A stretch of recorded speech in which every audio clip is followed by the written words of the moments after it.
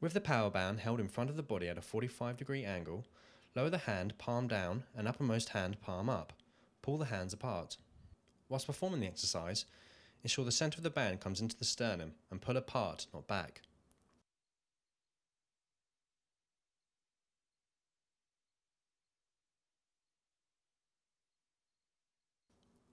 To regress the exercise, reduce the tension.